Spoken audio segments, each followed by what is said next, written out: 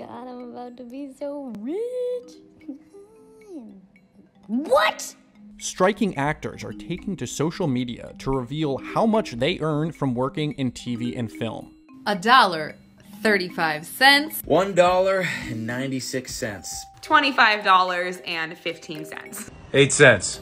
I don't get residuals from that show anymore. Or if I do, it's like two cents. Many actors are paid in residuals, which are payments they receive when TV shows or movies they've appeared in are replayed. My live on in perpetuity. I deserve to get paid for as many streams as that gets. This was my first residual, and then my second, and then my third. And then all of a sudden, I start noticing this year, it's just drastically smaller. The problem, they say, is that the streaming giants are not transparent with viewership data, which is a big factor in why the residual paychecks actors depend on are all but drying up. There's a little mark on all these.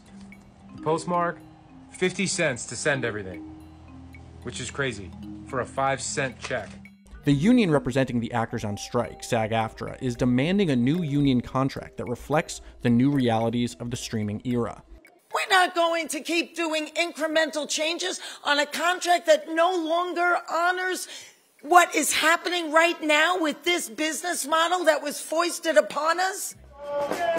In a statement to CNN, the Alliance of Motion Picture and Television Producers, which is the trade group negotiating with the striking actors, said they were, quote, deeply disappointed with the union's decision to strike.